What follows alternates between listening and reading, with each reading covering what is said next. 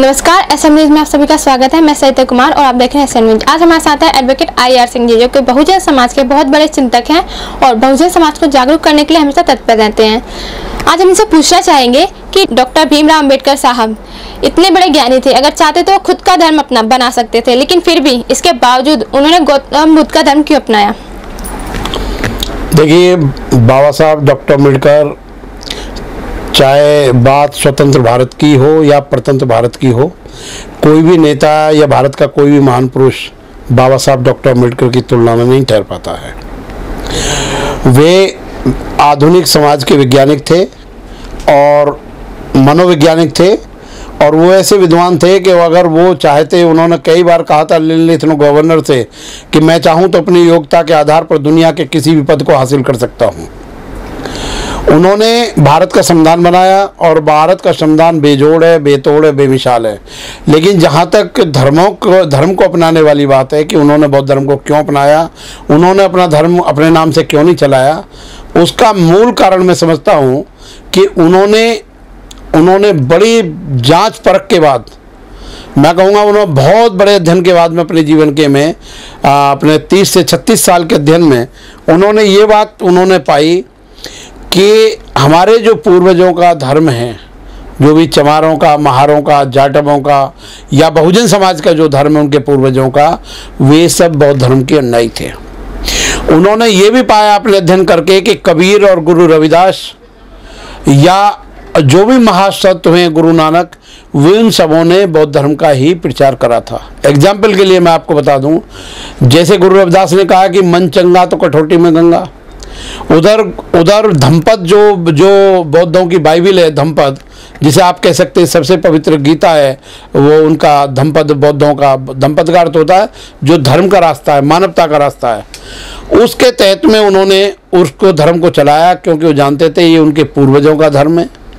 ये हमारे मूल निवासियों का धर्म है और ये संस्कृति का ये संस्कृति श्रवण संस्कृति जो है ये बौद्धों की संस्कृति हम लोगों की मूल निवासियों की संस्कृति है। संस्कृतियाँ भारत में दो प्रकार की हैं एक संस्कृति ब्राह्मणवाद की है और दूसरी श्रमण संस्कृति है।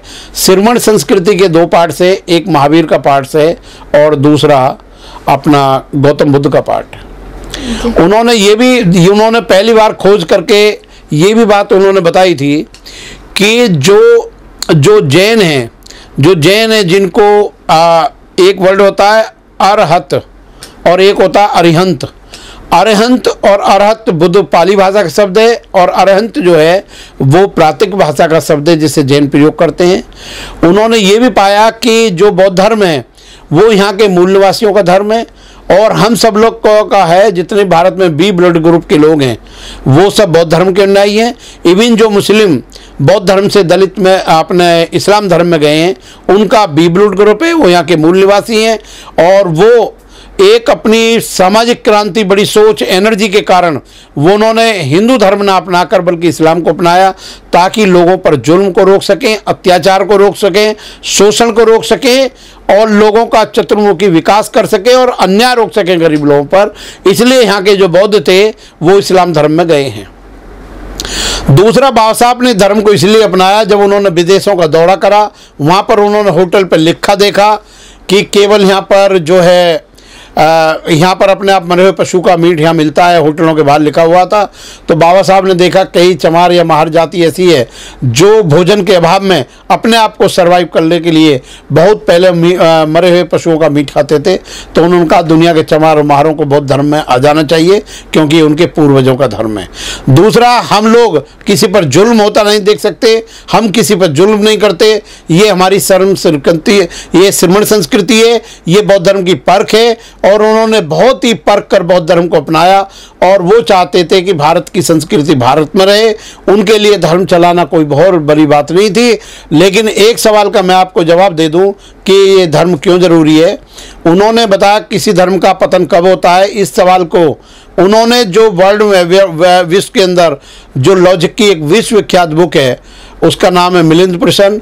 मिलिंद प्रश्न में एक डायलॉग्स हैं, जो क्वेश्चन राजा मिनांडर हमारे प्रभु जो बहुत बौद्ध विद्वान है नागसेन जी से पूछते हैं कि किसी धर्म की हानि कब होती है तो पूछते हैं वो कहते हैं कि जो धर्म सच्चाई पर टिका नहीं होता ऐसे धर्म की गिलानी होती है हानि होती है।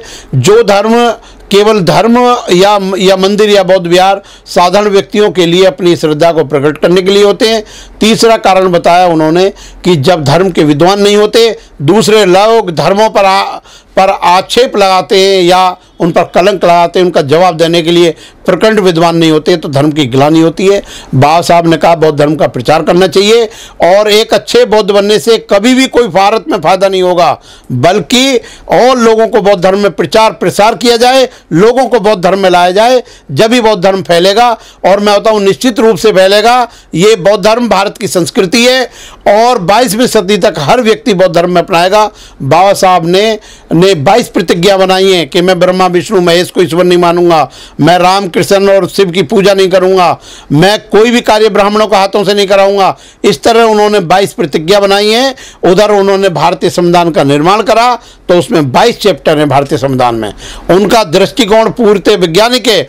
उन्होंने तीसरे शेड्यूल में, थर्ड शेड्यूल में, तीसरी अनुसूची में लिखा है कि जब भी कोई ऑनरेबल सुप्रीम कोर्ट का जज होगा, ऑनरेबल हाई कोर्ट का जज होगा राष्ट्रपति प्रेसिडेंट होगा, या कोई भी व्यक्ति होगा तो ईश्वर के नाम सप्त लेने की ज़रूरत नहीं है, बिना उनके नाम सप्त ले सकता है।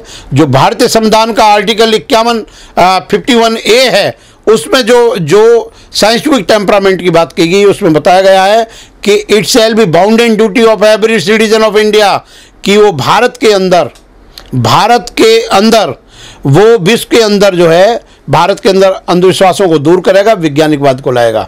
और मैं आपको बता दूँ, जो आर्टिकल बावन है, इंडियन कॉन्स्टिट्यूशन का, वो बौद्ध धर्म का ही है, जिसमें कहा गया है कि पूरा कुटुंब, पूरा विश्व एक परिवार की तरह है। पूरा विश्व एक परिवार की तरह है और दूसरा जो है भारत शांति और खुशहाली लाने के लिए पूरी मानवता जगत का प्रचार करेगा बाबा साहब का लिखा हुआ संविधान में आर्टिकल 52 है, जिसमें उन्होंने बताया है कि कि भारत जो है पूरे विश्व में शांति स्थापित करेगा। जहाँ तक ये कहना है हिंदुओं का कि पूरा विश्व एक कुटुंब की तरह है, पूरा विश्व एक कुटुंब की तरह है ये हिंदू गलत कहते हैं, ये बौद्धों की धारणा थी कि पूरा विश्व के मानव एक तरफ़ है। और देखिए, इस देश में मंगोल आए टर्किस आए, ब्रिटिश आए, और अंग्रेज़ आए, और मुसलमान मुगल आए, उन्होंने भारत पर आक्रमण करा। जब भी यहाँ के लोग विदेशों में गए, चीन में, जापान में, कोरिया में, तिब्बत में, श्रीलंका में तो यहाँ के बौद्ध भिक्षु हमेशा वहाँ शांति ले गए, वहाँ पर ज्ञान लेके गए, ज्ञान की पुस्तकें लेके गए और वहाँ पर विश्व बंधुता की बात लेके गए जब भारत से लोग बौद्ध धर्म के दूसरे कंट्रीज़ में गए। आज भारत की जो भी मान्यता है, भारत को जो भी सम्मान है, भारत को जो भी जो भी भारत के अधिकार हैं, या चाहे तो इंटरनेशनल कोर्ट ऑफ़ जस्टिस में हो, वो बुद्ध के कारण है। और जब भी कोई आदमी भारत पर हमला करने के लिए आया, वो हमेशा यहाँ पर अशांति लाया, लेकिन जब यहाँ के बौद्ध भिक्षु या बौद्ध विद्वान या अशोक ने अपनी लड़की को या अपने लड़के को महेंद्र को और संगमित्रा को लंका में भेजा तो शांति फैलाई, ज्ञान फैलाया, ये बौद्ध धर्म का है। इसलिए बाबा साहब ने इस धर्म को इसलिए फैलाया क्योंकि पूरे विश्व के अंदर इक्वलिटी लिबर्टी एंड फ्रेटर्निटी केवल भारतीय संविधान के द्वारा, बौद्ध धर्म के द्वारा ही स्थापित हो सकती है और बौद्ध धर्म का हमसे वही संबंध है हर मानव का, जो शरीर का संबंध दिल की धड़कन से होता है। थैंक यू धन्यवाद। अगर आपने अभी तक हमारा चैनल सब्सक्राइब नहीं किया है तो सब्सक्राइब करें और घंटी का बटन बिल्कुल भी दबाना ना भूलें ताकि सभी लेटेस्ट खबरें पहुँच सकें आप पे सबसे पहले।